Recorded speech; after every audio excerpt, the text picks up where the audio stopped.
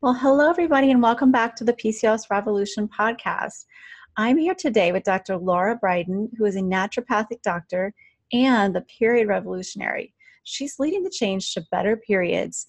And we're going to talk today about uh, some topics she discusses in her book, The Period Repair Manual. And for those of you who don't know her or haven't read her book, I would strongly encourage you to check out her website. We'll definitely list the link for that here. Um, so, the the uh, period repair manual is actually a manifesto of natural treatment for better hormones and better periods, and it provides practical solutions for using nutrition, supplements, and natural hormones. It's now the second edition, and it has been an underground sensation and it's worked to quietly change the lives of tens of thousands of women. So I'm very excited to talk about this today. Welcome, Dr. Briden. Hi, Farrar. Thanks for having me. So let's start off with um, what really sparked your interest in working with the cycle and women's health and PCOS as well. Yeah, well, I've been doing working with in women's health as a clinician, as a naturopathic doctor for almost 25 years. I guess it's a long time. So I've been working with women with period problems all that time, spanning back to the days when in the 90s, you know, no one was really yet talking about how diet can affect PCOS. The main surgery back then was something called ovarian drilling, which is a mm-hmm. surgical procedure, which is really bizarre to think about now. But even back then, I sort of from a naturopathic perspective, we'd been taught that you know there can be an element of blood sugar or insulin. So yeah, I was I've been sort of coming at it in different ways yeah for the last couple of decades and of course seeing great results because it's the kind of condition that responds better to natural treatment lifestyle treatment than it does to really any conventional medicine. Definitely. It's so rewarding too to see improvements with the cycle uh, just by making a few changes here and there. So definitely uh, so i we were talking a few minutes ago about what uh, is going on with the whole landscape of women's health and how you know there you're seeing and I, I, see sometimes in my practice that um, PCOS might be becoming overdiagnosed and could you talk a little bit about about why that is? The problem is the ultrasound finding. So here's a takeaway which I'm sure has been said on your podcast before but it needs to be said again needs to be stated. PCOS is a hormonal condition that cannot be diagnosed or ruled out with ultrasound.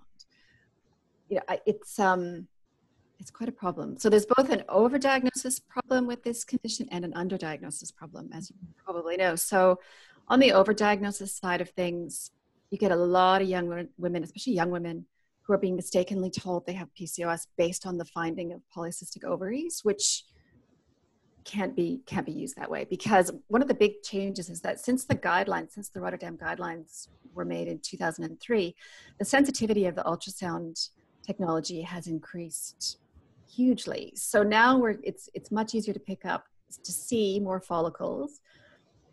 And their follicles are eggs which are normal for the ovary. They're not cysts the way we have other kinds of abnormal ovarian cysts. So it, it's common it's normal for young women to have more eggs in their ovaries. So, almost by definition, being young, you're going to have polycystic ovaries. There's one statistic where I think up to 86% of normal women will show polycystic ovaries on an ultrasound at one time or the other. So, as soon as you combine that finding, which is essentially a normal finding, with doesn't take much, you know, having irregular periods for some other reason, maybe it's post pill, or more commonly under eating. So one of the things that concerns me the most is seeing women who actually have undereating or hypothalamic amenorrhea. That's the term for losing your period due to undereating, being mistakenly told they have PCOS and going down the wrong track.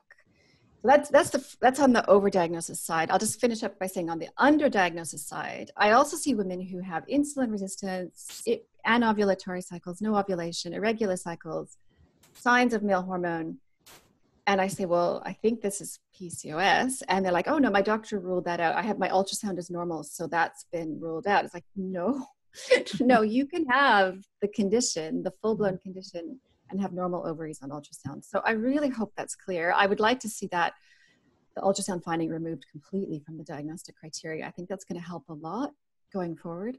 Mm-hmm. That's so good that you said that because I, and also they're not recommending ultrasounds uh, to diagnose PCOS in adolescents either. So that shouldn't really be a criteria. Thank goodness, of course. And the reason is because they have they have multiple eggs or follicles in their ovaries because they're young. Exactly. more eggs when we're young. It's definitely. I still see a lot of confusion out there um, yeah. about about diagnosing PCOS. It's not easy, and uh, it. But the hallmark is definitely when you look at your period and it's over 35 days, like you mentioned. There, there's that's that's definitely a warning sign that you need some further investigation. And and so I've seen sometimes where the hormone levels look almost normal as well, but all of the symptoms are there. So that's interesting too.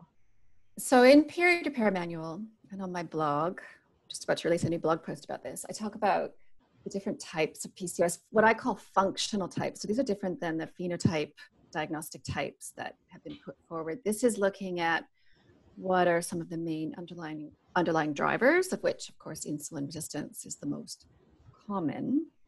But when you look at it from that perspective, yeah, you can. I'll just give the example of adrenal PCOS, which affects it's it accounts for about 10% of PCOS diagnoses. That's quite a different condition in that there can be regular ovulation, which is there can be longer cycles, but regular ovulation, which is quite different than the classic type of PCOS, but yet have these high androgens or male hormones from adrenal function, excess adrenal production. And if you start to think about it that way, yeah, it makes the diagnostic criteria even a little bit murkier than they were to begin with.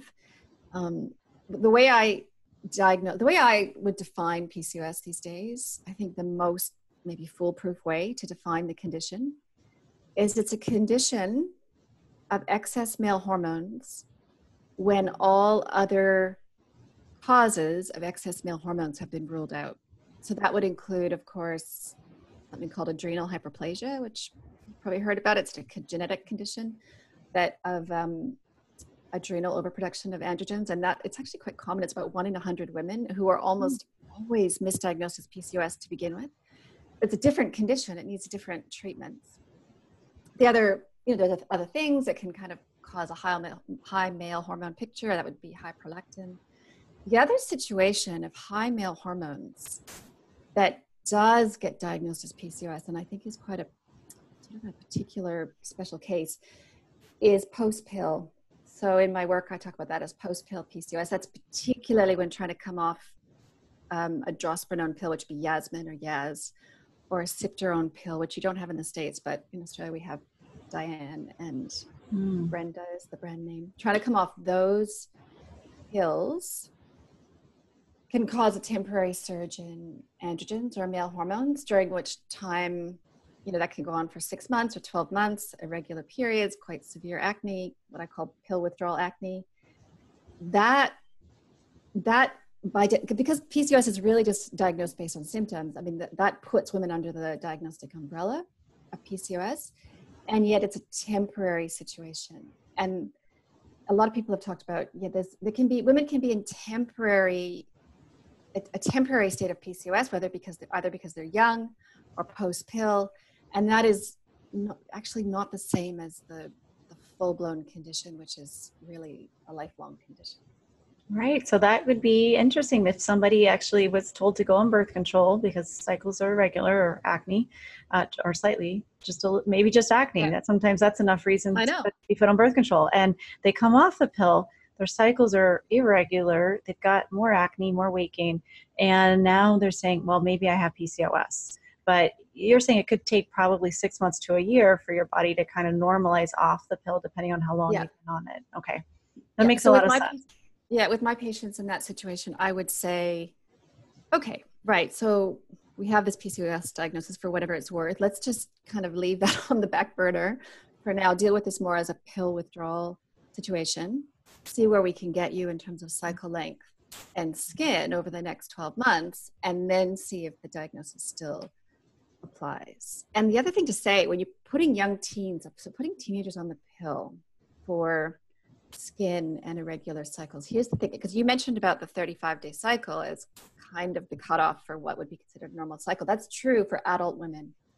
So for teenagers, I'd say really anywhere younger than like 22 or 23, can be up to 45 days is mm. normal. You have a longer follicular phase as a young woman, a teenager. Mm. So I well, that's why some of the guidelines are now really that the condition should it should not the diagnosis almost should not be given to teenagers because there many of most of us are in a temporary state of PCOS when we're teenagers. That said, of course, some teens are in a much more serious mm-hmm. um, state with a high degree of insulin resistance. That would be different. But all of us are a little bit insulin resistant, a little bit high androgen, anovulatory cycles, longer cycles as teenagers. Some people talk, some researchers talk about it as, yeah, puberty is, it's the kind of PCOS state of puberty is sort of a natural, it's part of the developmental states of the menstrual cycle. So first you go into the slightly androgen dominant state, not ovulating regularly. And then once you start to ovulate, your estrogen and progesterone kick in, and both of those have regulating effects and actually anti-androgen effects that help to mature the menstrual cycle. One thing that's interesting about the menstrual cycle and the communication between the brain and the ovaries is it takes 12 years to mature that. So from the time, you know, you say you start your periods at 13, it's not until you're 25 that you progress through all those stages and are making optimal levels of progesterone from ovulation, have hopefully down-regulated androgens, things like that. So that's actually a really strong argument to not give the pill to teenagers because it interferes, potentially interferes with that maturation process. That's very interesting. And as you were yeah. talking about that, the wheels started turning like, okay, I remember learning that you are more more insulin resistant during the second half of your cycle yes. because of the estrogen mountain, right? So then birth control also potentiates insulin resistance. And so if we are on birth control for the time of our lives where our bodies are still adjusting to our estrogen levels, like what does that do to us, you know, long term? you know, it's actually long been known, and there's numerous studies to show that the pill worsens or causes insulin resistance. Mm-hmm so more than one expert has chimed in saying, why are we giving a drug that causes insulin resistance to a condition that is driven by insulin resistance? So yet another argument, it, actually really makes no sense to give the pill for PCOS. I just want to say something else about that. I mean, the pill, so the pill is a band-aid for each and every period problem. That's the paradigm we live under currently. That's that's the what I call narrative, the women's health narrative that we exist under currently. That's not how future generations are going to manage period problems. Absolutely not. Because the pill was invented before anyone really understood how the menstrual cycle works. So we're using an outdated drug. And that's a problem for almost every type of period problem. It's just a band aid, potentially worsens some of the underlying conditions. But that's actually particularly true for PCOS because A, it worsens some of the underlying drivers, including both inflammation and insulin resistance. B, it's supposedly given to regulate the menstrual cycle, which just think about that for a minute. It it can't do because a menstrual cycle is about having ovulation and the production of progesterone and a, the functioning of the ovaries on a cyclic basis the pill bleeds are just a withdrawal bleed from contraceptive drugs that are taken arbitrarily. There, there was never a reason to bleed monthly on the pill. It, it makes no sense. It, it means absolutely nothing. Mm-hmm. And that's actually true in some countries now, especially in the UK. This earlier this year, they introduced new official recommendations that there's no reason to bleed monthly on hormonal birth control. So we can dispense with that whole myth or idea so back to it really raises the question why then why on earth are we giving giving women these drug induced bleeds when it means nothing and is worsening the underlying condition the other way i like to say it sometimes is so pcos is a it's a problem with usually not always but usually insulin resistance and failure to ovulate regularly and so supposedly we're treating that with a drug that causes insulin resistance and suppresses ovulation. Mm-hmm. So it really does nothing for the condition. And that doesn't mean that, I'll just put it in the broader context, that doesn't mean that I'm anti pill for everything. I mean, I know there are other conditions out there like endometriosis where pain, you know, there's pain and other symptoms that do require sometimes some suppression, hormonal suppression, but PCOS isn't in that category.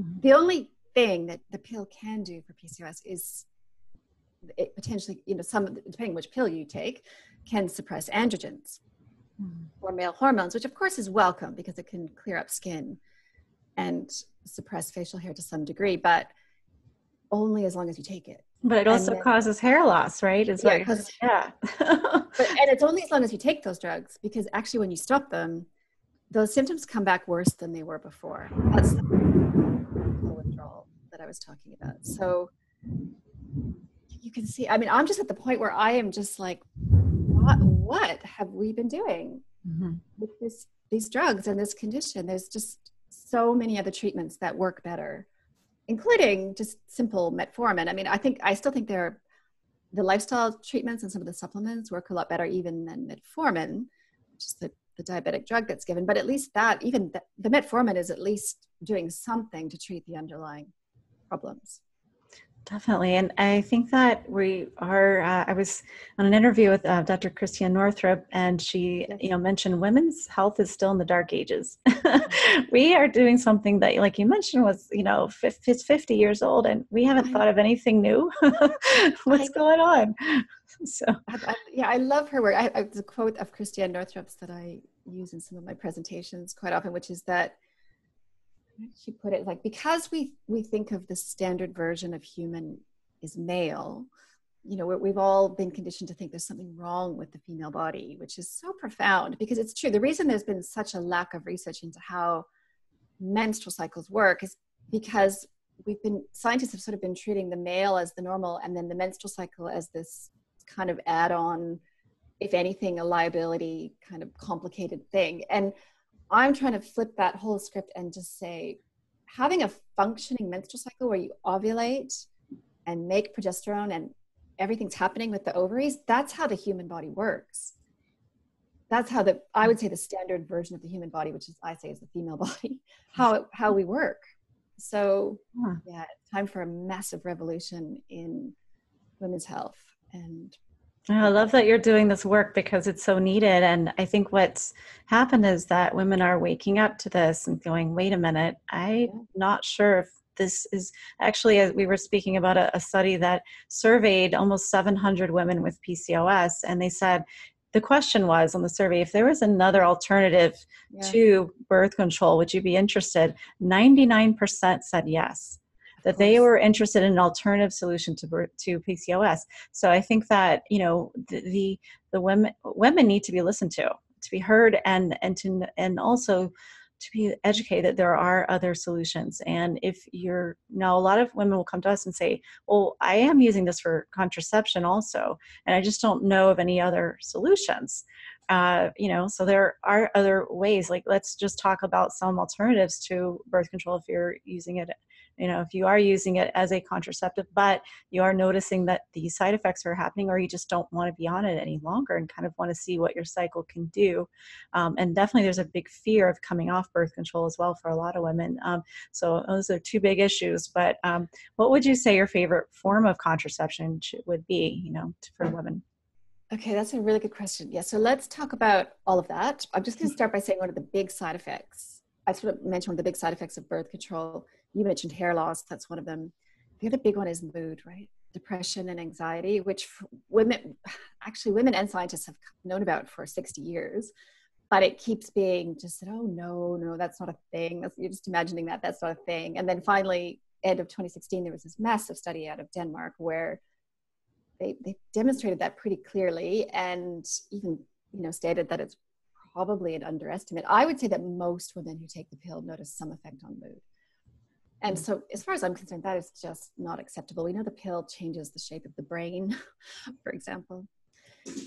Now, in terms of alternatives for birth control, the other thing to say is this is another outcome of 60 years of these contraceptive drugs is there just has not been the research into alternative methods of birth control that there should have been for example, we should have more male methods than we do because you just think about it, men are fertile every day, women are fertile only six days per cycle. So the obvious target for birth control is men. We already do have condoms, of course, which I am a huge fan of. And I'm trying to revive condoms because they are new. I don't know if your listeners know, but they're there's new technology in condoms that is more comfortable, that is thinner. There's one brand of condoms where they have 60 different sizes so that your partner can find one that actually fits and feels okay. It doesn't slip, it doesn't break. And so condoms need a you know, a bit more of a revival, I think. Um, but the, there should be other male methods, including there's one coming, which I do. I have a blog post called "The Five Best Types of Natural Birth Control." That's on my blog, and I, I mentioned this one there. I think it's called Vasalgel. It's a reversible contraceptive method for men. It's non-hormonal. It's a one-time injection of a gel into the vas deferens. It's kind of like a reversible vasectomy, but it's just an office visit. Like it's just an office visit with a needle. It's nothing. It's not surgery like women would have to do to have something like this done. So there's that. It hasn't come to market yet, but I'm really hoping that will come to market because it could change everything. Mm. Then beyond that, we have fertility awareness based methods, including the device Daisy, which I am a pretty huge fan of. Daisy's a little computer thermometer, has an algorithm. So all you have to do is take your temperature, tell it when you get your period, and it can tell you when your fertile days are and when your non fertile days are. Mm-hmm. And this is the basic principle of fertility awareness method. You, if you know when you're not fertile, and if you're in a committed relationship, you can have unprotected sex on those days. And this is even true for women with PCOS. I know that often the argument is, well, women with PCOS, you know, have irregular cycles and can't rely on a method like that. But my approach is actually most women with PCOS can reestablish natural regular cycles, semi, at least close to regular cycles. And you can use a, a method like DAISY or fertility awareness method, even with longer cycles. You ovulate later, but that's okay. That's mm-hmm. still, you can still figure out when that is. And so there's that. There's the copper IUD, which are Paragard, which has no hormones, which doesn't interfere with hormones or ovulation or anything like that. It works locally. I, I don't 100% love the IUD. Probably some of your listeners are thinking, oh, but there's, you know, the IUD can make periods heavier. And yes, those things are true. I, will just refer to my blog post again, all this um, sort of free information. I have a blog post called the Pros and Cons of the Copper IUD. So you mm-hmm. can read through some of the numbers and stats on different potential side effects. But still, lots of women do love it. So it's worth mentioning. There's a new diaphragm out there now. What have I missed? so there's a few things, you know, there's a few options it's not just hormonal birth control or nothing. That is part of the narrative of birth control that has got to change because we currently have other methods and scientists should seriously be working on some other methods because to have to shut down a woman's hormonal system with contraceptive drugs to avoid pregnancy is just massive overkill. Would you agree? Like we definitely it's so complicated. It's 2019. Like surely we can come up with another way to avoid pregnancy that doesn't involve shutting down hormones or sometimes i say you know castrating women because that is what those drugs do mm-hmm. they shut down I, ovarian they shut down ovarian function I, I agree and i think it's time for that so until then we, we have to do we have to look at what we have but i think that you know starting to know your cycle and know your body is very important and your fertile window for sure. Uh, and it's kind of fun to like learn about your temperatures. Maybe it's not you know our, our patients say oh god this is a lot of work but maybe we don't have to do it forever. Maybe you just do it for a couple months just to figure out what the heck your hormones are doing and and then we can sometimes identify other things that were hard to see. I mean, we've looked at temperatures and said, well, we need to test your thyroid because these yeah, are exactly. low. you can yeah, exactly. all kinds of things, and you can learn how the supplements are working that you're taking, and about your luteal phase, and so many things. So I think it's worth exploring.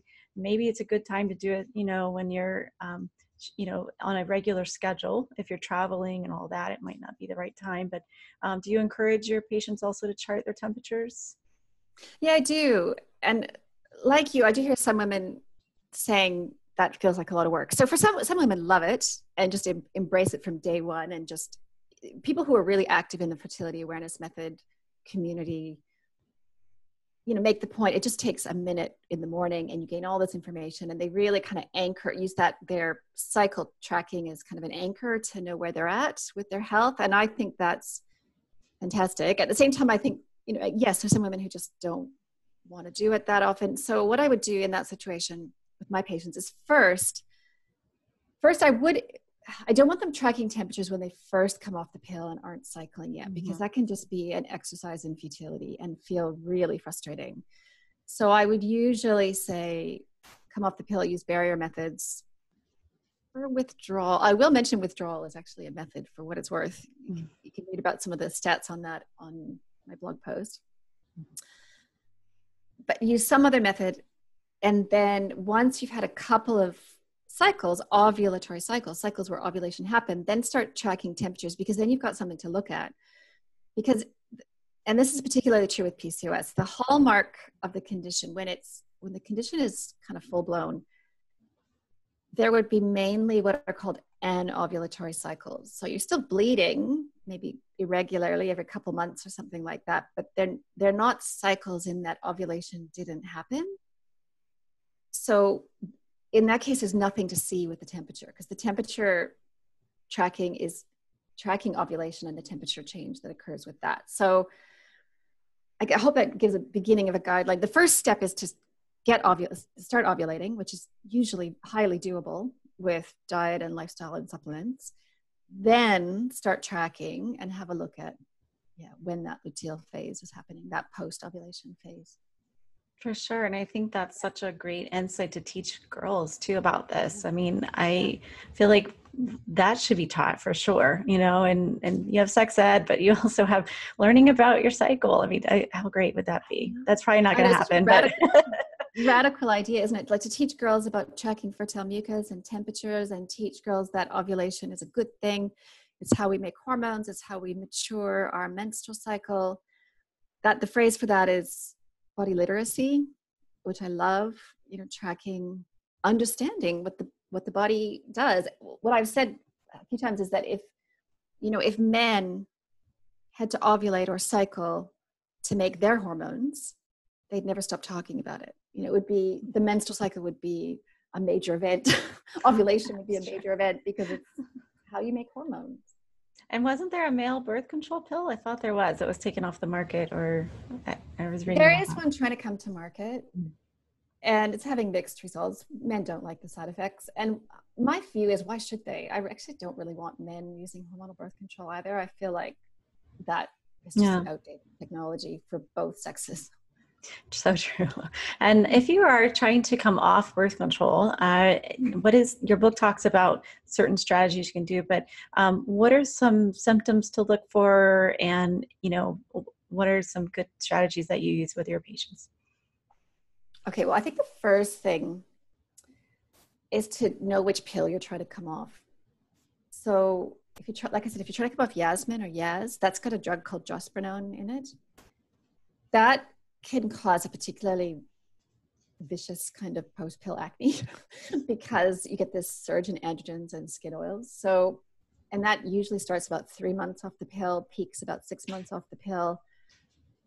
And that your listeners, I mean, they may have tried coming off and experienced that before, or they may just need to know this. So, if that's, if put it this way, if you had skin problems when you were younger and you've been on Yaz or Yasmin, and you're going to try to come off, you need to think about your skin straight away because the mm-hmm. skin problem is going to be worse than it was before you took the drug. So I have a blog post. I have a blog post for most of these things. I have a blog post called How to Treat and Prevent Post Pill Acne, where I talk about that mechanism, where I talk about putting in place strategies, including a dairy free, sugar free diet, zinc. I use the supplement DIM or diindolylmethane quite often to, as an androgen suppressing supplement, mild androgen suppressing. Combination of those, it has to be quite reasonably high dose zinc, not just a little bit of zinc in a multi or something, but some proper zinc. That combination plus possibly some other supplements can make a huge difference. You, you might still get some pill withdrawal or post pill acne, but you probably come through it a lot easier than you expected. and also knowing that at the six month mark, six months off the pill, most women turn the corner and the skin starts to improve anyway, especially if you're having regular cycles by then and making estrogen because estrogen is really good for skin. Okay, yes, we've had this uh, experience where some of our patients have, when they've come off birth control, um, they're concerned because the acne is just like boom, full force. That's where it and and it's it happens very quickly. I've noticed it's like within days sometimes. Oh, within days. Okay, well, if within days is less common. I usually see maybe a little bit within days, but usually it starts to really mm. ramp up about the three month mark, and then at six months, like peaking around the time most women would think, "Ooh, okay." there must be something really wrong with me. You know, this is out of control. I must need these drugs. I'm going to have to go back on. Mm-hmm. So at least knowing there's this time frame can help, can encourage to keep going and get because once you get through that withdrawal process of coming off drospirenone, then yeah, the skin, the skin, you know, it, the skin all is kind of normalized. You start to get more normal hormones. are to say again, both actually both estrogen and progesterone have anti-androgen effects. So once we really get going in our cycle, our own hormones are going to help our skin. All right. Yeah. And you talk a little bit about micronized progesterone. When would you use that? That's an interesting one with PCOS. So that's natural progesterone capsules. It, yeah. So it can be good for skin, has an anti-androgen effect. The other way that micronized or natural progesterone capsules gets used, and I don't routinely do this, but I'll mention it because it's in my, I mention it in my book. There's been a um, couple articles written recently by Professor Jerilynn Prior. She's an endocrinologist, reproductive endocrinologist great insights into the menstrual cycle. She has something called that she calls cyclic progesterone therapy, where she gives her recommendation is two weeks on, two weeks off with progesterone capsule. And the idea is it helps to regulate cycles potentially. What, what it does, it, it actually helps to normalize the communication between the brain and the ovaries. So your listeners, you probably know the classic feature of PCOS is having hot, quite high, chronically high or elevated LH, that pituitary hormone, that sort of not, because normally we should have quite low LH through the cycle, except just before ovulation and then it shoots up. So that's having this chronically overproduced LH interferes, well, for one thing, it stimulates androgens or male hormones, and the other thing, it interferes with the normal process leading to ovulation. So progesterone suppresses LH. That's the gist of what she's doing with that. So it's something I've used it, I've recommended it occasionally. I actually find, depending on the age of the woman, I actually find younger women respond just as well to getting the sugar out, taking magnesium, taking zinc. Mm-hmm doing all, exercising, doing all those things can make quite a big difference. And so I don't necessarily know that everyone with PCOS needs to go straight to a cyclic progesterone therapy, but it's worth knowing that it exists and that Professor Prior's writings about that exist. Very helpful. Yeah, and we'll link to that as well. I think that is uh, a question that we get asked. Sometimes we do use the bioidentical progesterone cream or, or um, yep. you know drops and especially for pms or for very irregular cycles and that sort of thing and, and working together with herbs uh, and a good healthy diet and, and just a short term thing not always not long term because we don't that's the opposite of what we want so we don't want anyone to be reliant on on hormones and other things we want your body to actually start producing things on its own. So um, but it can be like you mentioned a solution for someone uh, and i think that's a good discussion to have with your practitioner. And for those of you who are looking for some some more of these suggestions and you know trying to kind of get a uh, some sort of um, hold on what's going on with your cycle and that sort of thing, um, I think that Dr. Briden's book, The Period Repair Manual, it's a good place to start for sure. And you know really dig deep into your hormones. And um, I think that we all need to experience a healthy cycle. That's just part of it, would be I, I think you know one of the biggest things for women with pcos is that when you don't have regular cycles you just sometimes you don't feel like yourself. And um, so this is very important work that you're doing i think.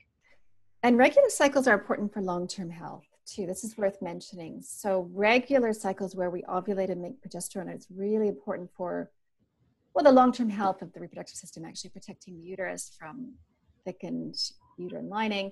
Also um, bone health, brain health, helping to prevent, reduce the risk of breast cancer. All of those things are helped by having cycles where we ovulate and make progesterone. Definitely in Scientific American, it's been my favorite issue. I think I don't know if you saw oh, May's, yeah. May's issue. It was all about uh, you know women's yeah. health and and the whole article is do we really need a period? What's the purpose of a period? You know, uh, and so and the conclusion was yes, me too. She quoted so, Professor Prior in that article actually, ah. um, Jerilynn Prior, who I've just mentioned. Yes, so yes, saying it's good for long term health to have yes. a regular cycle. Excellent. Real cycle, not a pill bleed. right. okay. Yeah. So I, I think this is just such good information. And uh, if you are currently struggling with PCOS, or you have uh, perhaps your daughter is considering going on birth control, or you're you know wrestling with what to do, um, definitely pick up this book. Start to educate yourself on other alternatives first. Just know that they're out there, and uh, of course, that's definitely a personal decision, and you know, um, there's no right or wrong way, but definitely consider you know the, the side effects and also the pros and cons. That's that's all we're mm-hmm. asking for sure. So mm-hmm. thank you so much, Dr. Briden, for being on our show.